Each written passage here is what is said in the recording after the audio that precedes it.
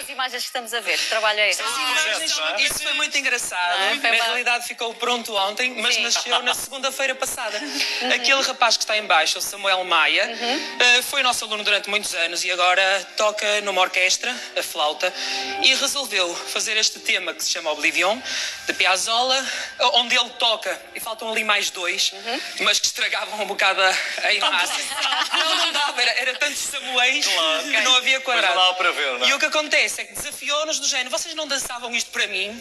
Para eu pôr aqui neste quadradinho? Nós, e nós, claro, claro, direto. Fomos para a nossa garagem. Decidimos são as fazer algo. Isto é a nossa garagem, foi filmado Sim. na quarta-feira.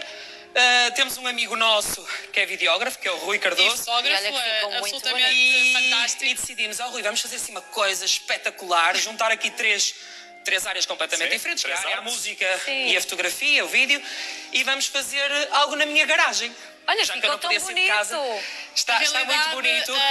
Nós nós ah, partilhamos a ideia de que quanto mais estritas sejam as circunstâncias em que estamos, mais nos aguça o engenho, mais Claro, nos aguça é a, a capacidade de superar. acabamos por ter que ser. E, e, na realidade, possivelmente, numa circunstância normal, teríamos pouco tempo para poder dedicar a um trabalho assim, porque não era propriamente trabalho, não é? Não, nós estamos pautados por todos os compromissos profissionais que temos, sejam com a escola, seja com a Tornet, seja com todas essas Claro. coisas, e está tudo cancelado, obviamente, não é? Então, isso leva-nos a utilizar o tempo disponível para outros projetos que até tínhamos vontade de fazer e que o momento Ainda não surgia.